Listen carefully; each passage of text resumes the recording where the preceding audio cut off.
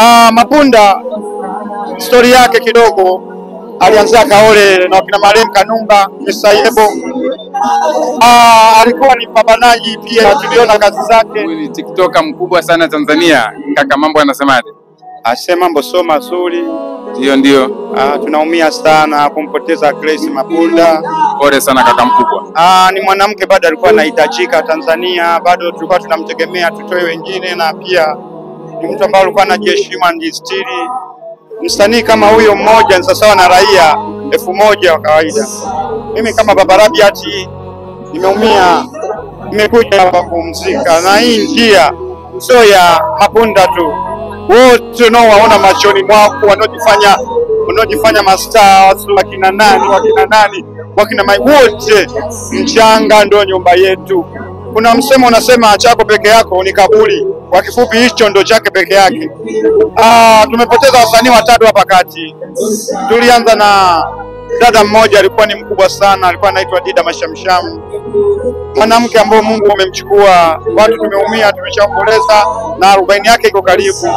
Ah, Mungu pia akaja akamchukua mbaba mwingine, mzee wetu Pembe, ambaye alikuwa na uwezo wa kuchekesha watu akafurahi, anatumia stand up comedy, serious comedy na my comedy, akachukuliwa. Ah, Mapunda stori yake kidogo alianzia Kaole na wakina marehemu Kanumba Misayebo. Ah, alikuwa ni pambanaji pia, tuliona kazi zake. Baadaye mimi alikuwa ananitafuta na nisia, naambia Idi Mabiti, kipindi kile sijaitwa shetani, pambano utatoka. Naambiwa juzi, niko kwenye mechi ya Azam na Yanga, naambiwa Mapunda kadondoka. Leo nimekuja kumstiri, sina lingine la kuongea kwa naambieni, nawatakieni heri. Baada ya majishi tutaonana, ila Mungu amweke mahali peponi. Mi naumia sana, Mapunda ndo tunaomtegemea aje atutoe. Mtu kama huyu akisimama akaamua kuitangaza nchi, wasi watu waseni, fanyeni hivi, fanyeni, watu wote wanamsikiliza kwa kuwa ni star. Wewe kama sio maarufu, wewe ukatangaza hivyo vitu vikakubalika. Kwa jina la Baba na la Mwana na Mtakatifu, amina. Tumepoteza pengo. Pole sana kaka. Unawaambia nini vijana wenye vipaji? Ah, vijana wenye vipaji ambao hawajatoka wajue kwamba Mapunda kaondoka, lakini Mungu bado katushikilia mkono. Mungu akusei, wengine wanamuita Allah, wengine wanamuita Mungu, wengine wanamuita wanamojua wao, lakini nyumba hii kaburi letu. Kuna wasanii wanasema kwamba chako peke yako ni kaburi. Nimeamini Mapunda tunaenda kumziki, anakaa peke yake, ila na imani katakaswa. Mungu ambariki aendako, yeye yuko na sisi kiroho, lakini si kimwili, hatumuoni.